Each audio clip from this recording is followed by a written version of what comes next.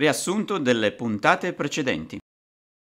Nel giugno del 1972 Fulvio Magliacani scompare. Il suo cadavere viene trovato un anno e mezzo dopo vicino a un fiume grazie alla testimonianza di Tarcisio Pan, che in una registrazione dice anche che il socio in affari del fratello, Giovanni Lacchioma, è stato ucciso in Francia.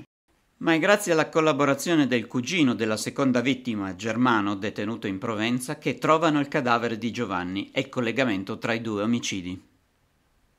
Non fare scene, non fare teatro come al solito. Ormai nessuno ti crede più. Se continui a dire sciocchezze finirai col fare condannare anche me, che non c'entro. Racconta al giudice come quella sera sei venuta all'albergo dove alloggiavo. Erano le 2.30, me ne ricordo benissimo. Eri sconvolta. Hai appena avuto la forza di mormorare, aiutami. Mio marito è morto. Ti ho seguita perché ti amavo, perché ho avuto pietà di te, perché ti credevo diversa. Mai avrei pensato che ti saresti rivoltata contro di me come una serpe. Ma ti rendi conto di quanto vai dicendo? Per colpa tua sono qui da otto mesi, per colpa tua non ho più visto mia figlia. E dire che io non c'entro, sono innocente. Franca Ballerini risponde così in uno dei confronti che chiudono la fase istruttoria. Ed è evidente che la passione sia finita e che stia per iniziare una guerra tra le parti senza esclusioni di colpi. Già l'inizio dell'istruttoria prometteva, per modo di dire, molto bene. Ma andiamo con calma. Mentre gli inquirenti si trovano in Francia alla ricerca del cadavere di Lachioma, in Italia la posizione di Franca Ballerini diventa molto più fragile. Perché per prima cosa si conferma il fatto che la donna subito dopo la scomparsa del marito accompagna Paolo Pani in diverse avventure, come a Cannes e nel sud della Francia, oltre al noto fatto alla frontiera. E come seconda cosa c'è Tarcisio Pan, che in un colloquio di quattro ore con il sostituto procuratore Silvestro cerca di fare chiarezza. Se siano altre invenzioni oppure no, naturalmente non si sa perché parliamo sempre di quello che viene definito un mitomane. In ogni caso il più piccolo dei due fratelli inchioda Paolo e Franca Ballerini per il delitto Fulvio Magliacani. Paolo venne a svegliarmi alle tre di notte. Aveva un problema urgente, aveva ucciso uno. Salimmo su una 125, io non volevo aiutarlo, c'era un morto di mezzo. Ma lui mi disse che avrebbe aiutato me e le nostre sorelle, che aveva molti soldi, che ci avrebbe aperto un negozio. Arrivammo in via Service, il cadavere del rappresentante era avvolto in una coperta in un angolo buio. Lo caricammo in auto. Tremavo, avevo sempre più paura. Ma Paolo continuò a parlarmi del mio futuro di come avrei potuto sistemarmi con la mia amica e condurre finalmente una vita normale. Me ne parlò finché non arrivammo in via Lanzo dove aveva un alloggetto. Rimanemmo lì fino a sera, lui disse che avrebbe chiamato Germano la chioma se fosse stato a Torino. E li studiammo un piano. Prendemmo in considerazione quella zona perché ci andavamo da ragazzi a fare il bagno. Ricordavamo che era dalle parti di Valdellatore o Fiano. Poi mi accompagnò a casa e mi suggerì di farmi vedere al solito bar che frequentavo e se ne andò a comprare gli attrezzi per scavare la fossa. Facemmo alcuni sopralluoghi sul posto. Poi il 21 giugno alle 9 di sera andammo a scavare la fossa. Una fatica terribile, avevamo solo una piccola torcia elettrica per paura di essere notati. E poi Paolo mi lasciò lì fino a notte fonda da solo. Tornò a notte fonda con la 125 e il cadavere. E lo seppellimmo. Lui bruciò qualcosa vicino al corpo. Poi mi accompagnò a casa dicendomi che non era successo niente e che non dovevo ricordarmi niente. In qualunque momento sono pronto a un confronto con lui. Mi sono sempre tormentato dopo quella notte. E per questo che ubriaco e con molti rimorsi mi sono confidato spesso con Paolo Rossini, una persona che credevo amica ma che invece registrava le nostre conversazioni intime. Sembra più che altro un tentativo di scamparla con tre anni per occultamento di cadavere, più che un'attendibile confessione. E come detto, pare proprio che la donna il 20 giugno fosse al Sestrier e non a casa in compagnia dell'amante ma è sicuramente un passo avanti, visto che il fratello continua ad avvalersi della facoltà di non rispondere che Franca Ballerini, a parte ammettere che la storia con Paolo Pan andava avanti ancora prima della morte del marito, si chiude dietro un muro di pianto e alle richieste di rivedere la figlia. Ma non è tutto. Un altro colpo a Franca e Paolo lo dà Marisa Bruno, di 29 anni, compagna di Tarcisio, che dichiara alla polizia che la donna diede le chiavi di casa sua per uccidere il marito.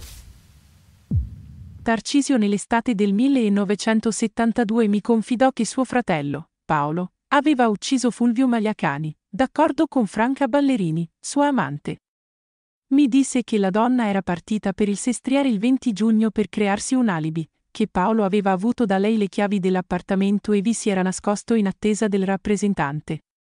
Quando è tornato a casa per dormire, lo ha accoltellato. Poi è andato da Tarcisio a chiedergli di aiutarlo col cadavere. Messo alle strette e accusato di un duplice omicidio, finalmente Paolo Pan si decide a parlare nel novembre del 1973. Lo fa, però, con il suo avvocato Foti che si dice sicuro che l'uomo sia innocente. Con il suo difensore si lascia andare numerose confidenze che lo fanno passare per un innocente e ribaltano tutto quello che è emerso fino ad ora. La nostra è sempre stata una famiglia normale come tante. Fino alla morte di mio padre. Avevamo un bar in via Don Bosco, dava da mangiare a tutti. L'abbiamo tenuto ancora per due anni, ma senza mio padre ha cominciato ad andare in rovina. Ho dovuto cercarmi un mestiere, rappresentante di una ditta di gelati. Ci assillavano con la necessità di dover fare a tutti i costi una buona produzione. Poi sono passato a una rappresentanza di macchine di caffè, ho però capito che si sgobbava come muli per quattro soldi. E a questo punto che ho incominciato ad interessarmi del traffico d'auto. Sui giornali si leggeva che c'era un giro di soldi facili, che si guadagnavano milioni a palate. Non è vero, per me si trattava di un'auto al giorno con costi altissimi. Era un piccolo commercio. Si trattava solo di rifornire Giovanni la chioma. Anche lui non faceva poi le cose tanto in grande. Vero che sono stato negli Stati Uniti ma come turista, non commerciante di auto. Ero disgustato da tutto quest'affare. Ad un certo punto ho lasciato perdere tutto. La prova. Mi ero trovato un impiego con una società danese, dovevo piazzare balletti e ballerine ai locali notturni. Franca invece era una qualsiasi. Ogni tanto ci trovavamo per caso. Due mesi fa si era fidanzata ufficialmente con un altro, un odontotecnico di Chieri. La nostra relazione era tutta qui. Lei poi era una scomoda, sempre pronta a crearti fastidi, costosa. Non ho ucciso Fulvio Magliacani, non ho sparato a Giovanni la chioma. La notte tra il 20 e 21 giugno sono stato chiamato da Franca per telefono verso le 3. Nell'appartamento di via Servais mi sono trovato di fronte il cadavere di Fulvio Magliacani trivellato di coltellate. Lei mi ha scongiurato di salvarla facendolo sparire e io ho accettato per pietà e per amore. Ho chiesto a mio fratello Tarcisio di darmi una mano. E a lei ho consigliato di andare via per farsi un alibi.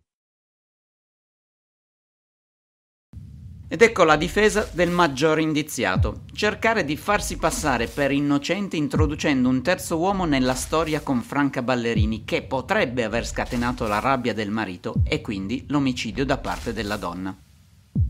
Definisce anche come scempiaggini le parole del fratello e quindi è evidente che non c'è nessun grande amore, dunque, o almeno non c'è nessun grande amore da salvare o parentele e amicizie se si rischia l'ergastolo. Ed ecco il tutti contro tutti per evitare la massima pena. La prima a reagire è ovviamente Franca Ballerini. Questo è troppo. Si è tentato di farmi apparire come un essere diabolico. Ciò che dice Paolo è intollerabile. Falso dalla prima all'ultima parola. Sono le ultime battute dell'istruttoria, i primi scontri verbali tra le parti, come ho detto a inizio puntata. Diversi mesi dopo, nell'ottobre del 1974, il dottor Enzo Silvestro, sostituto procuratore, deposita la requisitoria. Non ci sono sorprese, ci sono però i ringraziamenti agli inquirenti e parole di conforto per la famiglia Magliacani. Ma a parte questo, per Silvestro, Tarcisio e Paolo Pan sono i responsabili dell'uccisione di Fulvio Magliacani, con la complicità della moglie Franca Ballerini e sempre i due fratelli sono anche gli autori del delitto di Giovanni Lacchioma. Gli avvocati difensori però chiedono ulteriori approfondimenti e il giudice istruttore Maddalena accoglie le istanze e dispone una perizia psichiatrica per i tre imputati e anche la possibilità di portare nuovi elementi. Viene anche concessa l'estradizione dalla Francia di Germano Lacchioma che arriva in Italia nel giugno del 1975 con il ruolo di teste chiave e tra l'altro lui non cambia di una virgola la sua versione dei fatti. Il 12 agosto del 1975 i fratelli Pan Franca Ballerini e Germano Lacchioma vengono rinviati a giudizio per omicidio volontario delle due vittime. Rischiano, tutti quanti, l'ergastolo. E così finisce la terza puntata, nella prossima inizia il processo. Se ti è piaciuto questo podcast, metti mi piace sulla pagina Facebook Torino Nera.